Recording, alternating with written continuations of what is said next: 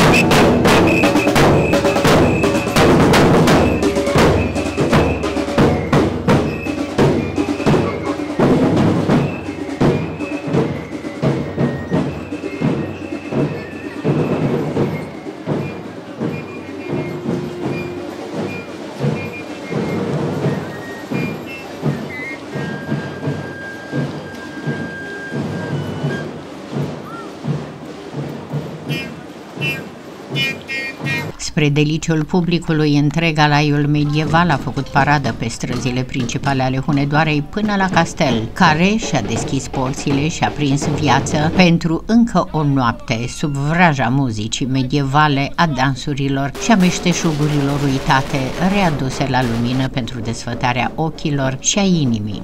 Iată că, într-adevăr, castelul Corvinilor și-a deschis porțile în zgomotul tobelor, în pas de dans, și-a deschis porțile pentru cetățenii Hunedoarei, și-a deschis porțile pentru vizitatorii castelului, și-a deschis porțile pentru toți cei care iubesc castelul Corvinilor, istoria, Evul Mediu și Hunedoara.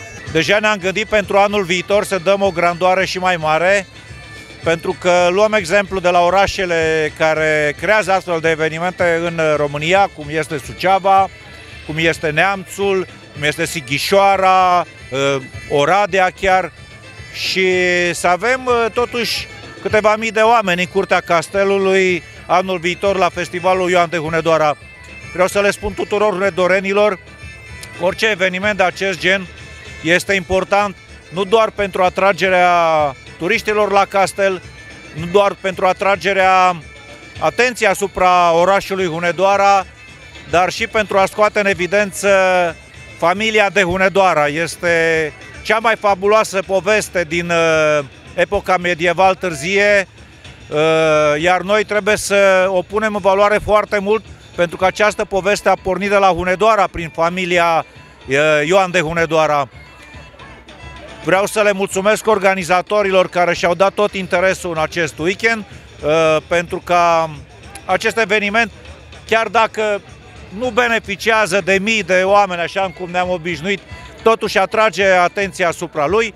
Să le mulțumesc uh, colegilor din primărie care au muncit foarte mult la toate documentațiile, iar anul viitor, așa cum promiteam, ceea ce se vede aici ca și învergură să mulțim cu 5 și, într-adevăr, să arate ca un, uh, ca un proiect de succes. În seara asta ați venit la castel să dansați sau să ascultați muzică? Să dansăm, să ascultăm muzică, să vedem cavalerii, să vedem și domnițele. Ar trebui organizat de mai multe ori decât o dată pe an. Da, ar trebui să fie mult mai promovat și să avem mult mai mulți turiști care să ne viziteze. Promovează orașul, ar trebui promovat mai mult castelul, să ne mândrim cu el. Să vină să viziteze castelul, să vadă istoria cât de frumoasă este al acestui oraș, cum a fost o cetate și tot ce împre, prime împrejurimi. E ca un fel de unire așa istorică, adică tuturor colțurilor țării cumva se adună într-un singur loc la cel mai frumos castel din România până la urmă și din cele mai cunoscute în același timp. Deci mi se pare o idee foarte bună. Sunt multe nopți frumoase la Hunedoara la castel. E o idee deosebită pentru că ne amintește de strămoșii noștri care au construit acest castel și care trebuie să-l păstrăm în continuare. Și în acest an, festivalul medieval Ioan de Hunedoara și-a îndeplinit pohta ce-a pohtit. A oferit vizitatorilor o călătorie în timp, recreând atmosfera epocii medievale într-un cadru plin de mister, desprins parcă din cărțile cu povești nemuritoare.